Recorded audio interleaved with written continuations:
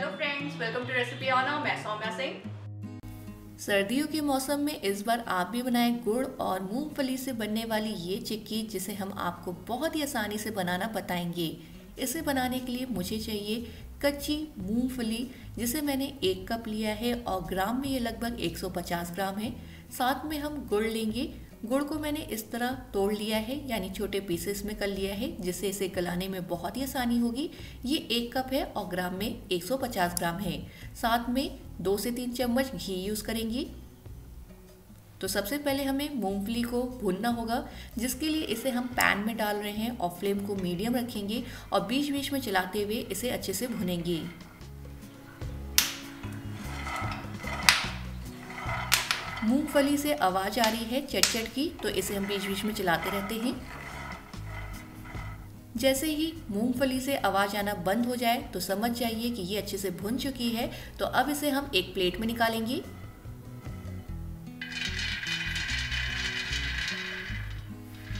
मूंगफली यानी पीनट हल्के से ठंडे हो गए हैं, अब हमें इनके छिलके को निकालना है तो इस तरह आप हाथ से रगड़ कर इनके छिलके को निकाल सकते हैं। नहीं तो आप दोनों हाथों का यूज़ करके इसे रगड़ें और इसके छिलके को निकाल दें। ये काम थोड़ा सा बोरिंग होता है, पर आप टीवी देखते हुए या बात करते हुए ये काम बहुत ही आसानी से कर सकते हैं। तो यहाँ मैंने छिलके को निकाल दिया है, अब हमें चिक्की बनाना है।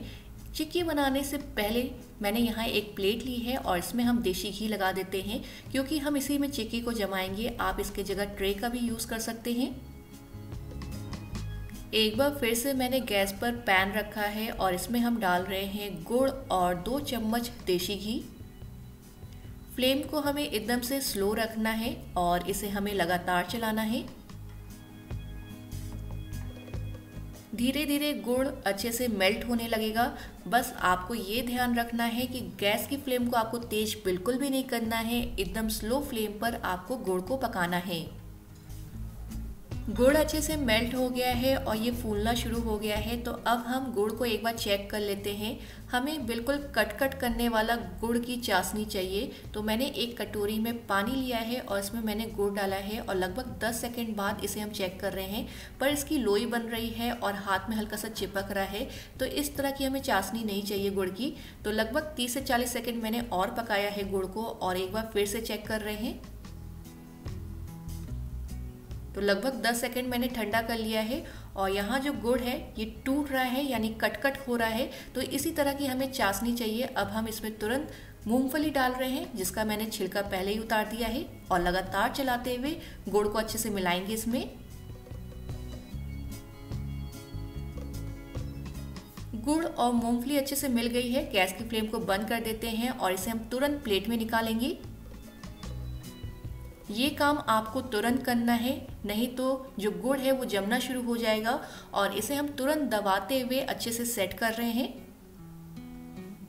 चिक्की को गर्म में ही अच्छे से सेट कर लेना है। अगर ये ठंडी हो गई तो बिल्कुल भी सेट नहीं होती है। तो मैंने यहाँ स्पैशला ले लिया है जिससे बहुत ही आसानी से चिक्की सेट हो जाती है। तो कुछ इस तरह मैंने इसे सेट किया है और इसके बाद इसे हम काट लेते हैं। चीकी को बिल्कुल भी आप ठंडा नहीं करिएगा। अगर ये ठंडी हो जाएगी तो ये सेट भी नहीं होगी और कटेगी भी नहीं। तो इसे आप गर्म में ही अच्छे से सेट कर लें और काट लें। तो चिक्की को आप किसी भी शेप में काट सकते हैं। इसके बाद इसे हम एक से डेढ़ घंटा रख देंगे, जिससे ये अच्छे से ठंडी हो जाएगी। लगभग डेढ़ घंटा हो गया है, अब इसे हमें निकालना है। तो नीचे से हम हल्का सा गर्म कर लेंगे, जिससे ये आसानी से निकल आएगी, और चाकू के हेल्प से इसे निकाल लेंगे। नहीं तो आप प्लेट को उल्टा कर दें और हल्का सा ठोक दें, जिससे चिक्की बहुत ही आसानी से निकल आती है। तो ये देखिए कितनी अच्छी चिक्की बनी है। बिल्कुल मार्केट जैसी चिक्की घर पर बन गई है, वो भी बहुत ही आसानी से। तो उम्मीद है कि आपको ये रेसिपी ज़रूर पसंद आई होगी। प्लीज़ कमेंट करके बताइएगा और इस रेसिपी को ज़रूर ट्राई करिएगा। और वीडियो अच्छा लगा हो तो लाइक और शेयर करें और चैनल को सब्सक्राइब करना बिल्कुल ना भूलें। और इस सर्दी के मौसम में इस रेसिपी को ज़रूर इन्जॉय करें। तो एक बार फिर से मिलते हैं एक नई रेसिपी के साथ। तब तक के लिए थैंक यू